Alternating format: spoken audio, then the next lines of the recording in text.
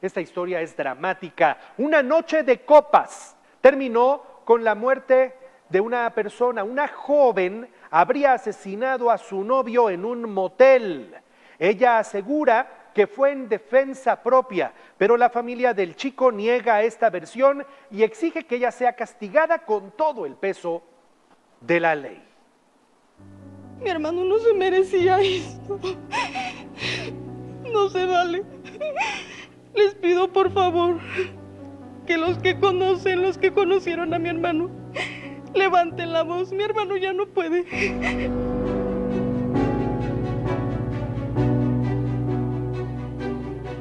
Estas son las desgarradoras palabras de la hermana mayor de Gonzalo Vázquez Ruiz, un joven de 33 años de edad quien fue asesinado a sangre fría por su pareja sentimental en el municipio de Acajete, Puebla. Los hechos ocurrieron la madrugada del pasado 28 de junio, cuando Gonzalo y su novia Dayana, 13 años menor que él, ingresaron al motel Azteca, ubicado sobre la Federal Puebla-Tehuacán, luego de una noche de copas. Habían pasado un par de horas cuando los padres de Dayana llegaron al motel haciéndose pasar por clientes e intentaron entrar sin autorización a la habitación 108 para llevarse a su hija. Los empleados les impidieron el paso e ingresaron al cuarto en donde hallaron a Gonzalo sin vida. Su cuerpo estaba boca abajo sobre la cama y tenía una navaja clavada en el cuello. Dayana, de 20 años de edad, fue detenida y puesta a disposición de las autoridades. Declaró que actuó en defensa propia cuando Gonzalo intentó obligarla a tener relaciones sexuales. Sin embargo, familiares del joven asesinado niegan esta versión y lo describen como un hombre respetuoso, cariñoso y trabajador. No sería capaz de hacer lo que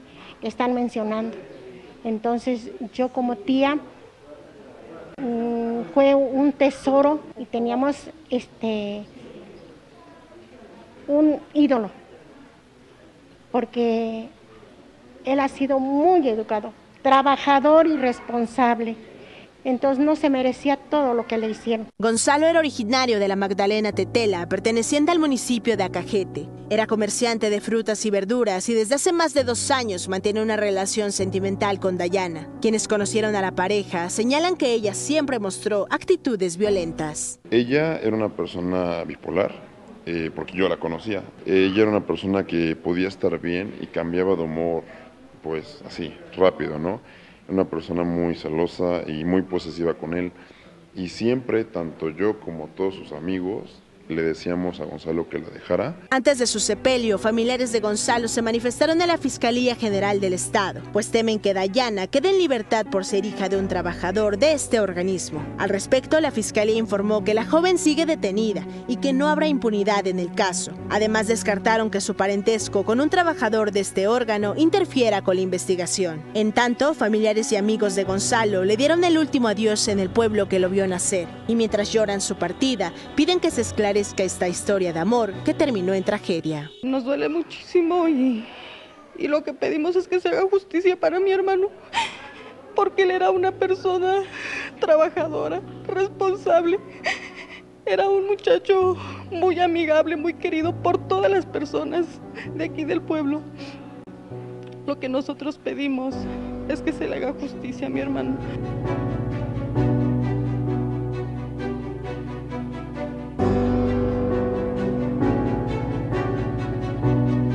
Roxy Zavala, Imagen Noticias Puebla.